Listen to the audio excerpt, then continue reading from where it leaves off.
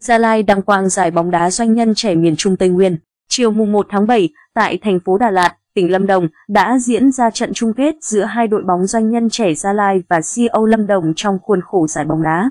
Doanh nhân trẻ miền Trung Tây Nguyên mở rộng năm 2023.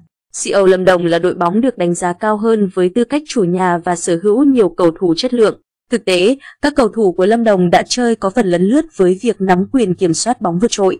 Tuy nhiên, khi chưa tạo cơ hội ăn bàn rõ rệt về phía đối phương thì họ phải trả giá với lối đá phòng ngự phản công của đội bóng doanh nhân trẻ Gia Lai. Sau pha đá phạt góc ở cuối hiệp 1, Hồng Thượng đã chấp cơ hội dứt điểm chuẩn xác mở tỷ số 1-0 cho đội khách. Bước sang hiệp 2, CEO Lâm Đồng dâng toàn bộ đội hình lên chưa tấn công, song bất lực trước hàng phòng ngự quả cảm của các cầu thủ đến từ Gia Lai. Thậm chí, họ còn phải nhận thêm hai bàn thua khi lựa chọn mạo hiểm chơi tất tay hỏng tìm kiếm bàn gỡ. Đánh bại CO Lâm Đồng với tỷ số 3-0, doanh nhân trẻ Gia Lai đã giành chức vô địch với giải thưởng 8 triệu đồng. Trước đó ở trận bán kết, họ cũng đã xuất sắc vượt qua đối thủ rất mạnh là CO Khánh Hòa với tỷ số 3-1. Giải bóng đá, doanh nhân trẻ miền Trung Tây Nguyên, mở rộng năm 2023 do Hội Doanh nhân trẻ Việt Nam tổ chức quy tụ hơn 220 cầu thủ đến từ 16 hội doanh nhân trẻ của các địa phương khu vực miền Trung Tây Nguyên cùng một số địa phương như Đồng Nai, Bến Tre, Cần Thơ.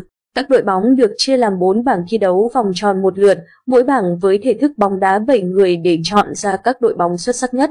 Đây là cơ hội cho các doanh nhân gặp gỡ, giao lưu nhằm đẩy mạnh phong trào thể dục thể thao cũng như tạo sự kết nối, phát triển trong kinh doanh.